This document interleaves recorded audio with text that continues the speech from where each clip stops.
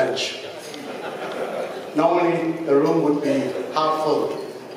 But the fact that you're here is no doubt a reflection of your interest, not only in the, uh, the talks that were given this morning and the discussions uh, that we had this morning, but also in the um, issues regarding Myanmar and the region. So I would be very happy to talk to you about that.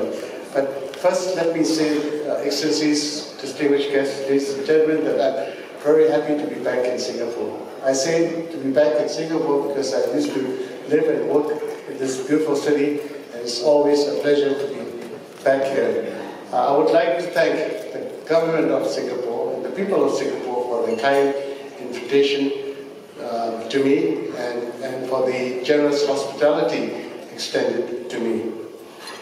Since 2012, uh, this forum has provided an unprecedented opportunity for senior government officials and business leaders, captains of industry from around the world to discuss global trends. This year, we are meeting at a very important time. It's a time when dark clouds of trade, war, or tensions, whatever you, you would like to call it, between the world's two largest economies pose an ominous threat to global trade and investment.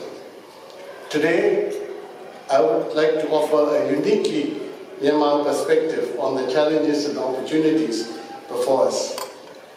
I aim to provide you with an insight on how Myanmar is addressing many of the global trends now shaping realities both at home and abroad.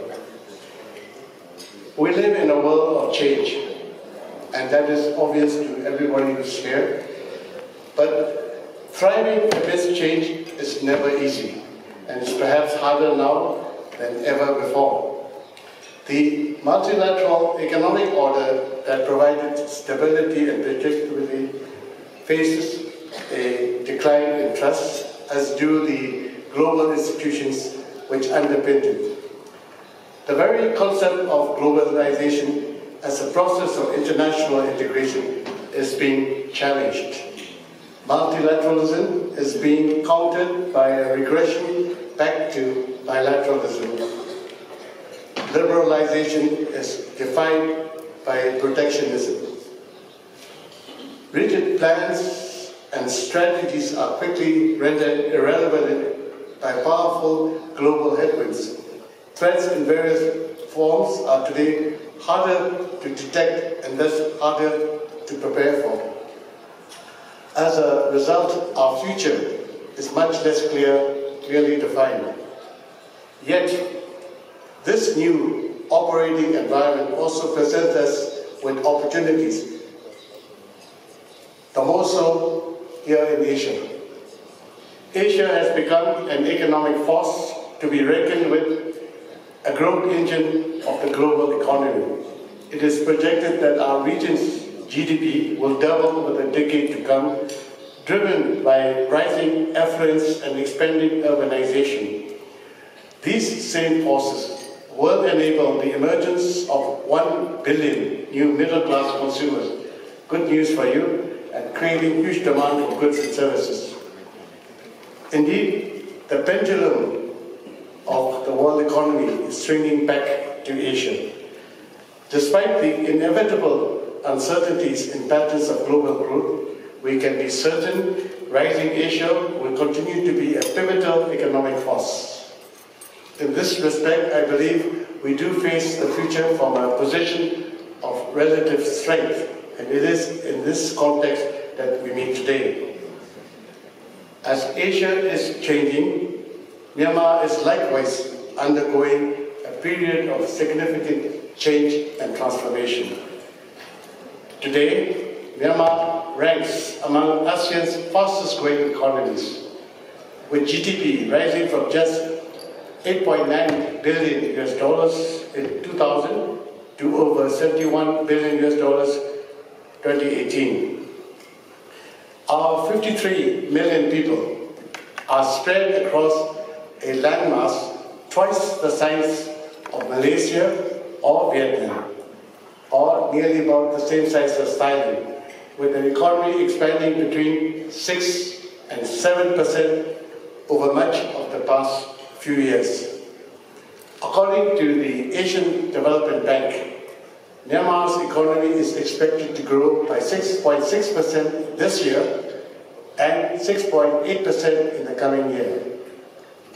This growth has been channeled in ways that have facilitated an unprecedented structural shift in Myanmar's economy, effectively halving the number of our people living below the poverty line. This newfound economic vibrancy is visible in both rural and urban areas. Myanmar is also, once again, integrated into the world's economy. It had been isolated for five decades or so. This includes interacting with and being impacted by the powerful forces, both visible and hidden, which shape it. The challenge for Myanmar, a newly democratic nation, is how best to take advantage of the spirit of growth and dynamic change. Dear friends, Myanmar today is a vastly different country compared to what it was just a decade ago. People did not really understand Myanmar because it was closed. Now we are open. It is pursuing broad-based and inclusive growth strategies, bolstered by a major investment promotion drive. Guiding these efforts is a new plan that is called the Myanmar Sustainable Development Plan, or better known as MSDP, a comprehensive, forward-looking social, economic, and environmental reform agenda fully aligned with the UN 2030 Agenda for Sustainable Development. This National Development Plan has enabled us to embark upon a new and exciting phase of our country's development while offering a unifying and coherent roadmap for all future reforms in line with regional and global commitments and in accordance with liberal economic principles. It is through this plan that we will strive to address global challenges that we all face in common, including those related to poverty, climate change, trade, and investment. As part of this push for more investment, we continue to promote a more favorable, friendly, and predictable investment environment, offering investors a fair and level playing field on which to compete. By doing so, we seek to attract quality investment. We would like to see you in Myanmar to invest in Myanmar. We would like to see sustainable growth and spreading prosperity. We have recently opened our retail, wholesale sectors as well as education, banking and insurance sectors to foreign investment. We are doing away with unnecessary regulations. We're doing away with red tape. Having launched a new and fully digitalized online business registration portal known as MyCo. This MyCo is a process that one took 14 days. Registration took 14 days in Myanmar. Any company that came to Myanmar needed 14 days to register. Today, you can do it in one day. A process that once took weeks has now been reduced even to a single minute if you are fast enough on your computer. It's online. We have launched a new investment promotion plan and are nearing completion of a new land bank that will provide clarity and assurance regarding land ownership while simplifying investor access to land for industrial and commercial use. We have also put in place or updated the vast majority of the central laws and policies required to sustain what is being called a second wave of reform. Ladies and gentlemen, we have moved ahead with a new initiative that is referred to as a project bank, a rolling data bank consisting of major transformative projects that have been screened, appraised, and prioritized such that they are ready for investment and implementation in the most transparent manner. At the same time, we recognize that major regulatory and institutional reforms are still required, and we are trying to make our best to ensure that uh, this will be fulfilled. That is why we have established a new public-private partnership center mandated to facilitate and implement PPPs, develop concrete criteria upon which appropriate types of government support may be provided for these projects and to assess the potential areas where the privatization of state economic enterprise may yield profitable results.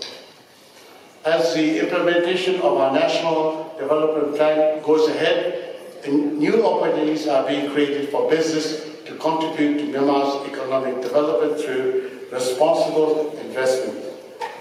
We also have a land bank that, that is being promoted. A project bank together with land bank, we are hopeful will bring the results we want. Myanmar, while blessed with abundant resources, including fertile land and fresh water, faces some challenges with regard to climate change. While some of these challenges we face today are rooted in geography, it is true that many of them are the result of misguided policies, but we are trying to rectify them. At the same time, with the world's population set to triple by 2050, a majority of whom will reside in Asia, challenges associated with ensuring one of mankind's most basic needs, food security, cannot be overlooked. Myanmar was once referred to as the granary of Asia. We seek to reclaim this title. We want now to be not just the granary, but also the bread basket, granary and bread basket of Asia. So, dear friends, the third industrial revolution has made possible the, disrupt, uh, the technologies that now enable our transition into the fourth iteration. As we make this transition, all countries will be subject to disruption, social, economic, political, environmental, digital, and technological. And therefore, Myanmar fully supports the free, free flow of ideas, talent, technology, and trade within Asia and between Asia and the rest of the world. And we believe that those who will prosper during this transition will be those that are able to swim with the tide, not against it. Myanmar is a member of the ASEAN group of countries, and ASEAN has also taken on a more proactive role in shifting the geopolitical economy, which has led to a change in the proponents of the markets and multilateral trading system. In this, ASEAN reinforces its centrality in emerging economic architecture through the Regional Comprehensive Economic Partnership, or RCEP. And we expect the RCEP made up of the 10 ASEAN countries plus six partners, China, Korea, Japan, Australia, New Zealand, and India, to complete uh, the negotiations by November, which is just around the corner. Upon successful completion of this uh, RCEP, we will see the creation of the world's largest trade bloc, covering almost half of the world's population almost a third of global trade, uh, global trade and output with a fifth of global FDI flows. So today I have outlined several of the major reforms Myanmar is now pursuing in order to prepare our nation for this next stage of transition. But there's still much to be done. With, in this regard, I can do no better than to quote State Counsellor Daw San Suu Kyi, who here in Singapore last year said, and I quote, our journey is not a simple journey. It is an adventure, an adventure into the unknown future. It is an adventure in which we are all taking part. We have many challenges to face, many weaknesses that we must address, but we have confidence, confidence in the ability of our people and in the capacity of our people to grow into these challenges. Before I, I conclude, let me leave you with three thoughts. First, we must increase our focus on research and development and remain open to investment with a particular focus on technology and skills transfer between countries. Once a desirable, Myanmar was once a desirable destination for our friends in Singapore to study medicine, to become doctors. But Myanmar today lags behind our peers in the adoption of key technologies and dissemination of knowledge. Both necessary drivers which will enable Myanmar to take quantum leaps into the 21st century. When speaking of Singapore's own experience, moving from third world to first, it was His Excellency, the late Prime Minister Lee Kuan Yew, who noted that the decisive factors were the people, their natural abilities, education and training.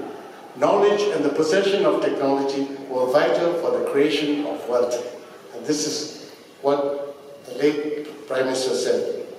We must all be guided by these words. And we must fully support our nation's creative industries, encouraging innovation and entrepreneurship in, in our countries. Reform initiatives must begin in the classroom and follow the individual into the workplace, leading to a more vibrant, innovative, and competitive private and public sector. I'd like to thank you all for your kind attention. Thank you very much, Your Excellency.